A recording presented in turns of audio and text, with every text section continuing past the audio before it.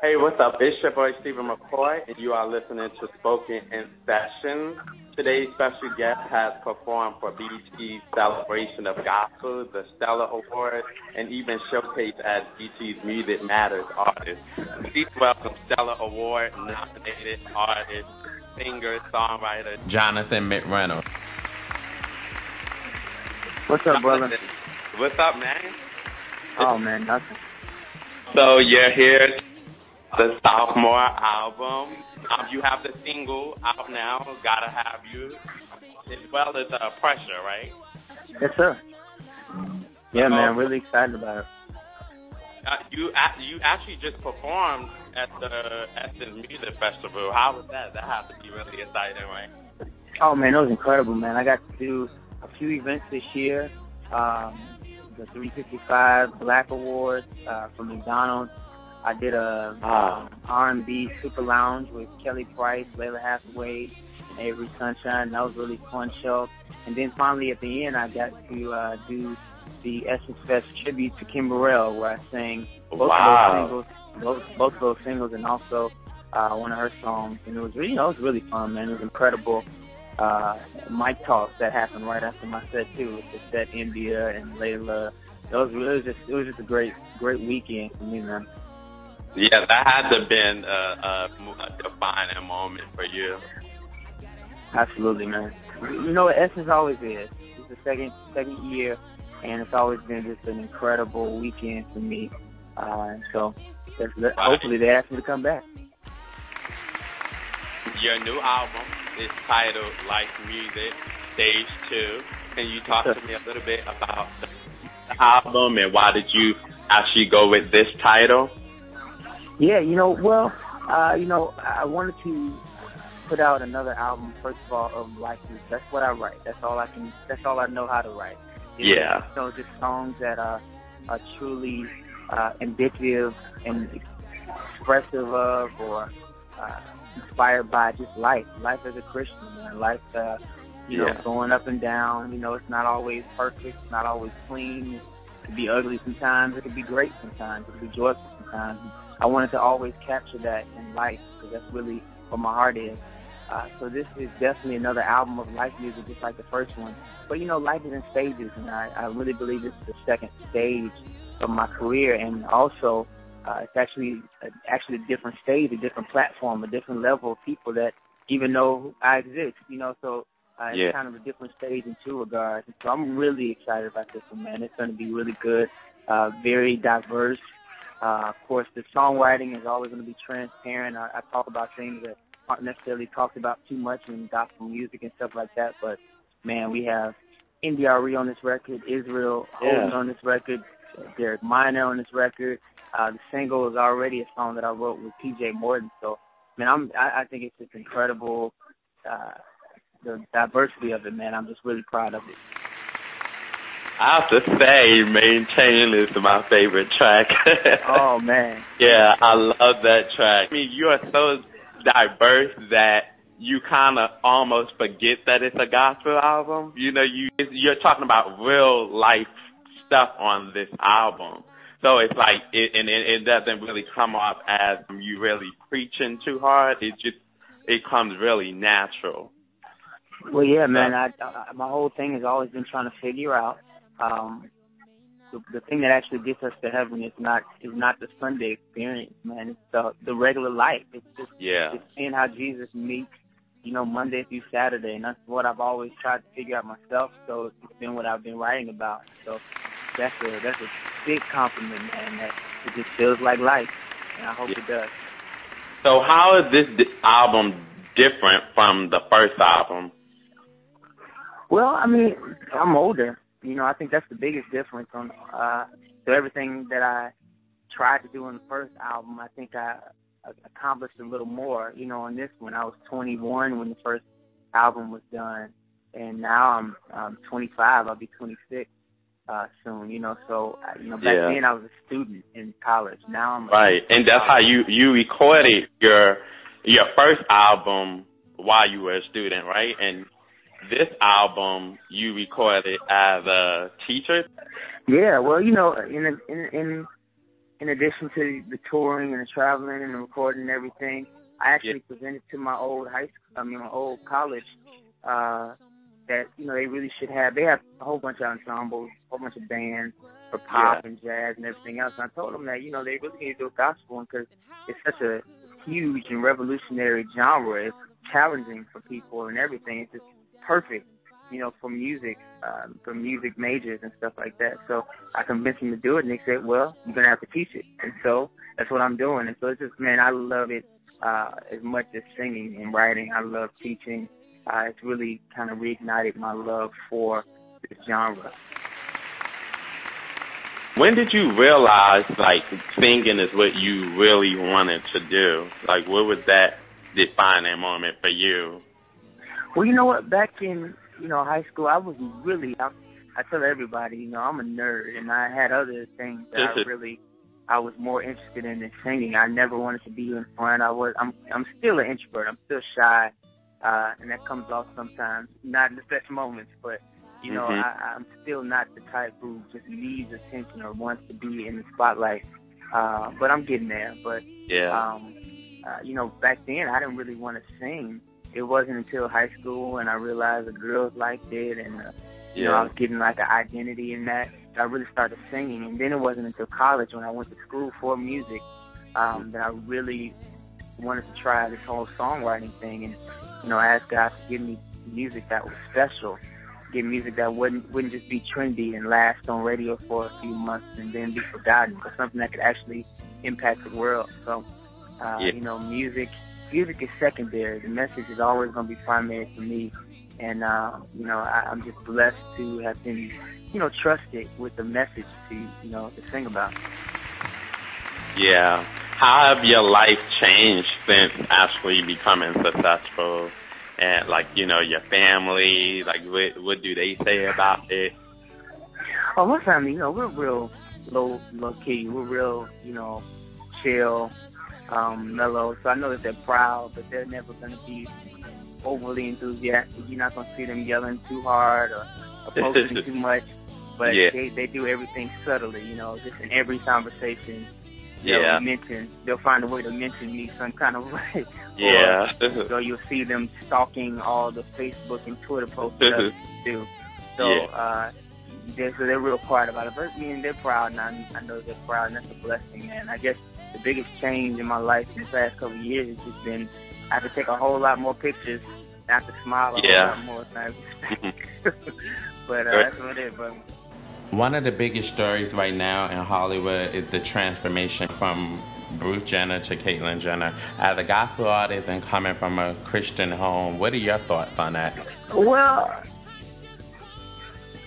eh, well, my thoughts are, you know, I don't, I don't want to use a platform to express my opinion because uh, my opinion is just like everybody else's. It's just mine. It's just mine. Yeah. And so, you know, I, I all I know is that the, the more we pursue Jesus, the more understanding we get concerning ourselves, our identities, you know, who we are, our lifestyles, everything. You know, that all starts moving into focus and coming into focus when we go back to the guy, the the mm-hmm. God that that created us. So, you know, I really don't know. I mean, I guess the only thing that really that that bothers me about it is, how much it's celebrated. Yeah, well, you know, in in in in addition to the touring and the traveling and the recording and everything, I actually yeah. presented to my old high school, I mean my old college, uh, that you know they really should have. They have a whole bunch of ensembles, a whole bunch of bands for pop yeah. and jazz and everything else. And I told them that you know they really need to do a gospel because it's such a huge and revolutionary genre. It's challenging for people and everything. It's just perfect you know, for music, um, for music majors and stuff like that. So I convinced them to do it, and they said, "Well, you're gonna have to teach it." And so that's what I'm doing. And so it's just, man, I love it uh, as much as singing and writing. I love teaching. Uh, it's really kind of reignited my love for this genre. That, but then mm-hmm. This person um, was celebrated nationally got national attention and has won awards. And I just believe that when you fight for your Christian identity you're pretty courageous and heroic to me as well. Mm. thank you for that. Uh, for you know, for just expressing your thought on it. To get on lighter things, you have a street team app on yeah, iTunes man. and Google Play. Yeah.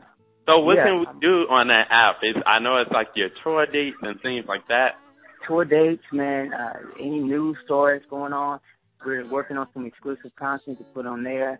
Um, I'm sure as the album comes out, they're gonna have some special incentives and uh, maybe early releases or something like that on the app. Uh, but they do have a, a special street team uh, section, I guess, that's going on. That you know we're really trying to get people, you know, around the country just to kind of take the initiative or take ownership over this whole life music brand. You know, I wrote it for y'all. I wrote it for people. Um, and so we have a, a lot of people around the country that are actually uh, getting on the app and join the street team. They get some exclusive singles, like for instance, Pressure. You know, that was never pressed uh, as a physical single like Gotta Have You was. Uh, but we do Yeah. have a, we have a few, and it's just for the street team folks. And so, um, yeah. Yeah. I think that's a great innovative idea that you guys came up with. So that's that's pretty cool. Um, I know I know you uh, mentioned that the best thing about your job is you get to take pictures and you smile a lot more. Um, but what is the most challenging thing would you say about your job? Oh, I think that's the challenging thing. I, I don't think that's the easy thing. I think the challenging thing is to, uh, you know, people.